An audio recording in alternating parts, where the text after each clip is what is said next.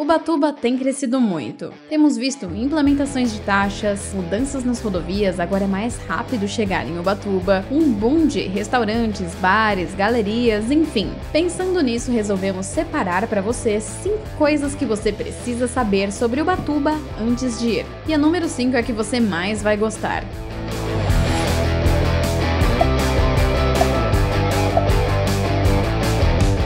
Número 1. Ubatuba é incrível fora da temporada. A melhor época para ir para Ubatuba é uma questão importante para quem está se planejando para viajar para essa incrível cidade litorânea. Até porque você junta dinheiro, se programa, tira dias de folga e cruza os dedos para que não esteja chovendo. I'll cross my fingers for you.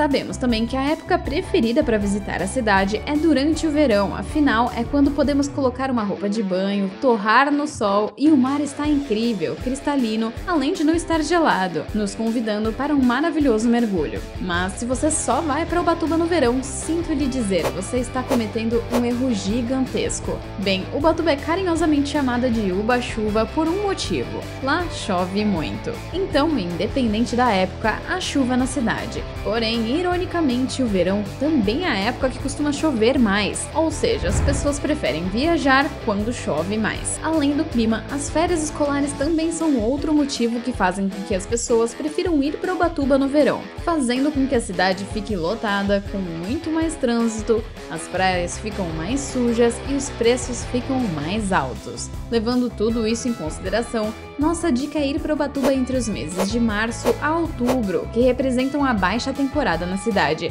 e claro, fora de feriado. Nesse período, as temperaturas são mais amenas, as praias estão com menos movimento e mais limpas, tem menos chuva, menos trânsito, entre muitas outras coisas. E se quiser saber mais sobre a melhor época para ir para Ubatuba, veja nosso vídeo dedicado sobre o assunto. O link está na descrição. Número 2. Você precisa respeitar o mar. Sabemos que é um assunto evitado, mas em 2023 o número de afogamentos aumentou em quase 16% no litoral norte de São Paulo. Em Ubatuba, de 2022 para 2023, foi um salto de 38%. Nós gostamos de falar das praias de Ubatuba, como elas são bonitas, mas a última coisa que queremos é que uma viagem para descanso e lazer se torne em tragédia, e é preciso cuidado e atenção ao entrar no mar. O desconhecimento das condições do local e a falta de habilidade do nadador estão entre as principais causas de afogamento. O mais alarmante são as correntes de retorno, que podem arrastar o banhista para o mar aberto e que, infelizmente, não são incomuns nas praias de Ubatuba, principalmente nas praias de mar agitado e de tombo. Dá só uma olhada nessa notícia. Quatro turistas da mesma família são arrastados por corrente de retorno em praia de Ubatuba. Isso aconteceu na Praia Grande no final de 2023.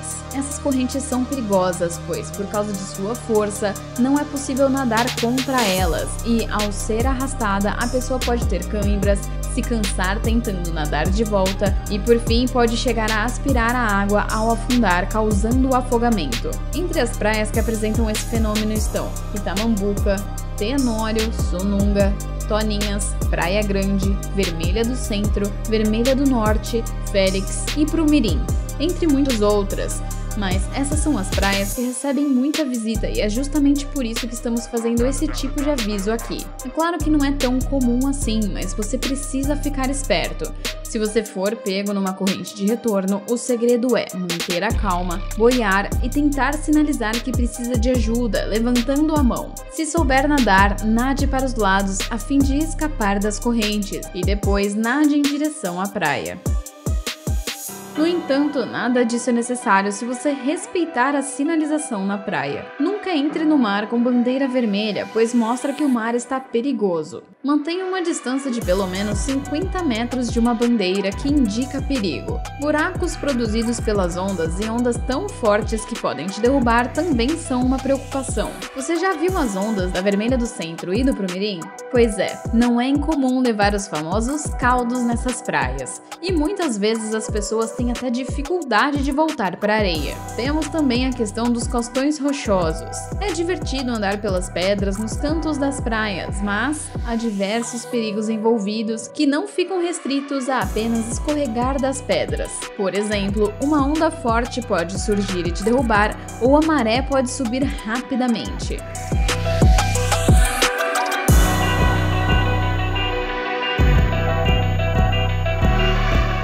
Além disso, em hipótese alguma, permita que crianças abaixo de 12 anos andem nessas áreas, exemplificando para chegar na Praia do Português é preciso andar pelas pedras, então tome muito cuidado, não vá na maré alta e, se perceber que a maré subiu um pouco, retorne imediatamente. E não podemos nos esquecer do uso do álcool, que além de fazer com que a pessoa perca a noção do perigo, também faz com que ela enfrente dificuldades, até mesmo nas partes mais rasas. Então não tem o se beber não dirija, aqui vale o se beber não entre no mar. Por fim, se você não conhece a praia e perceber que não há presença de guarda-vida, o ideal é não entrar no mar. Well, no Número 3. Ubatuba vai muito além das praias. Embora Ubatuba seja conhecida principalmente por suas lindas praias, a cidade também possui diversas atrações naturais e culturais. Para os amantes da natureza, não faltam trilhas para serem percorridas. Talvez a mais conhecida seja a Trilha das Sete Praias, que passa por praias paradisíacas. Mas há muitas outras, como a Trilha do Pico do Corcovado para os mais bem preparados, a Trilha do Saco das Bananas mais ao sul e muitas outras, levando inclusive até lindas cachoeiras. Por falar em cachoeiras, esta é outra opção de atração que vale a pena conhecer em Ubatuba. Algumas das mais conhecidas incluem a Cachoeira do Primirim, além da maior cachoeira do estado, a Cachoeira da Água Branca. Lembrando que boa parte dessas atrações devem ser feitas com guias credenciados. Outra experiência diferenciada são os passeios de barco em Ubatuba. O passeio em alto mar é incrível por si só, mas poder deslumbrar a vista que se tem da costa e poder conhecer as ilhas com suas praias maravilhosas não tem preço. Entre as ilhas mais visitadas estão a Ilha Anchieta, a Ilha do Primirim e a Ilha das Couves. Uau! Agora, Ubatuba também é um excelente destino para atividades culturais e educativas. O aquário, por exemplo, é um passeio ótimo para toda a família. O projeto Tamar é outro destaque, focado na conservação das tartarugas marinhas e o Museu da Vida Marinha, uma experiência educativa única com ossadas de diversos animais. E temos ainda a programação cultural que o Batuba oferece ao longo do ano, com festivais de música, feiras de artesanato e eventos gastronômicos que celebram a vida caiçara e a cultura local. Dois exemplos são a Festa de São Pedro Pescador e o Festival de Camarão da Almada, e ambos acontecem fora da temporada. Número 4. Não esqueça de pagar as taxas. Bom, não vamos entrar aqui em muita discussão. O que você precisa saber é que, se quiser visitar o Batuba, você terá que preparar o bolso e pagar muitas taxas. I hate this.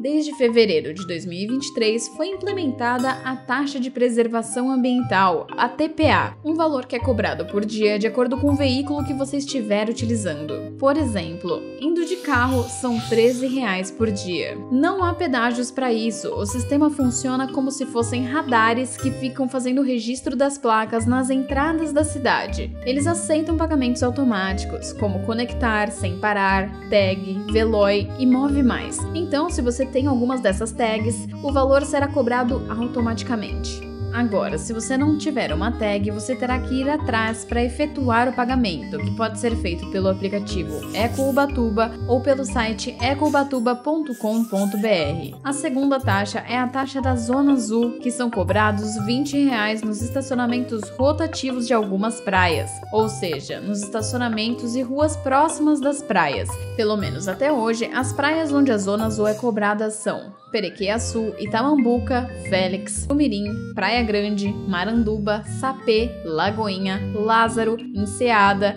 Toninhas e Tenório. O maior problema com a Zona Azul é que nem sempre tem alguém por perto fazendo a cobrança, o que faz com que você tenha que ficar procurando a pessoa uniformizada. E se você não achar ela, tem que ficar torcendo para não levar uma multa mas aparentemente em breve serão feitas instalações de maquinário para fazer essa cobrança de forma eletrônica, com aplicativos, moedas, tag, Pix, cartão ou em estabelecimentos ao redor. Aliás, a Zona Azul é paga apenas uma vez, ou seja, você pode em quantas praias quiser no mesmo dia. E tem isenção para essas taxas? A resposta é sim, para moradores e proprietários de forma bem resumida. Número 5. Experimente os restaurantes de Ubatuba. A cena gastronômica de Ubatuba certamente não decepciona, seja nos renomados e tradicionais restaurantes da cidade até os maravilhosos bares de praia. Visitar Ubatuba também é uma oportunidade de roteiro gastronômico. I love it! I love! E tem de tudo: comida caiçara baseada em frutos do mar até opções de culinária internacional. E para melhorar, muitos outros restaurantes têm aparecido na cidade e parece que vieram para ficar. Então está cada vez mais difícil escolher com tanta opção deliciosa. Nós temos um vídeo no outro canal, o nosso canal Naturam Praias, sobre os melhores restaurantes de Ubatuba que você precisa experimentar. Deixamos o link na descrição.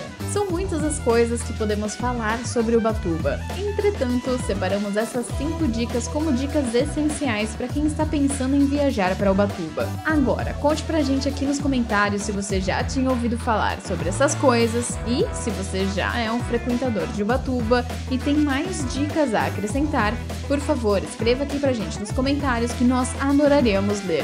Se você achou esse vídeo útil, deixe seu like e se inscreva no canal, onde a gente dá diversas dicas de viagens, passeios e lugares para visitar. E agora, aproveite para ver esse outro vídeo sobre a melhor época para ir para Ubatuba. Até a próxima!